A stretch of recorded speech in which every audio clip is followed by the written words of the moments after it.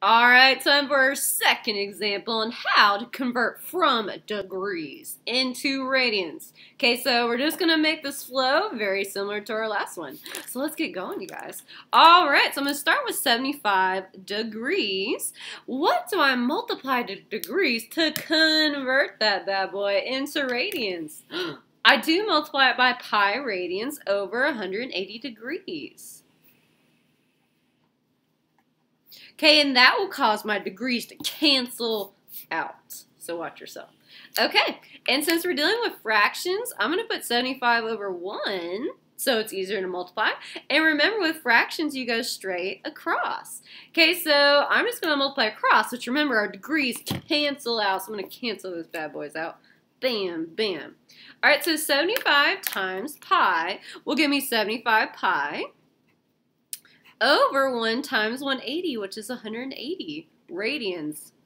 Yay, so my degrees cancel out, so I'm currently in radians, but I need to simplify this fraction down. So I need to think about a number that divides into 75 and 180.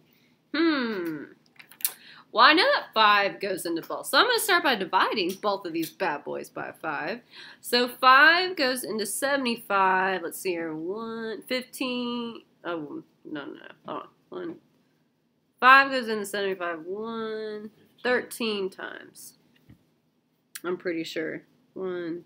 No, 15. I was right. Okay. Oh, Mr. Long disapproves. I made a mental error. Well, I originally calculated right, but I doubted myself. Don't ever doubt yourself. That's bad.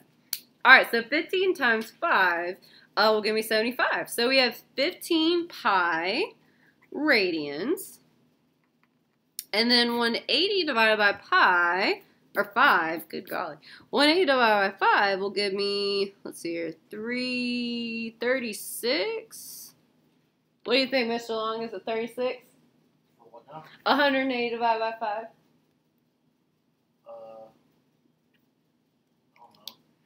See, Mr. Long doesn't even know. He judged me and he doesn't even know.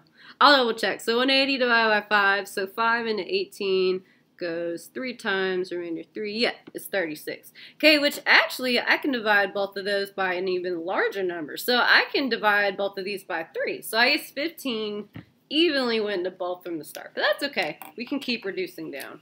So I'm going to divide both of these by 3 again. So 15 pi divided by 3 will be 5 pi. Over 36 divided by 3 will be 12. So it's 5 pi over 12 radians. There we go. Nice, you guys, nice. Okay, in our next examples, we'll be reversing the process. We'll start with radians and convert these bad boys to degrees. So get excited about that.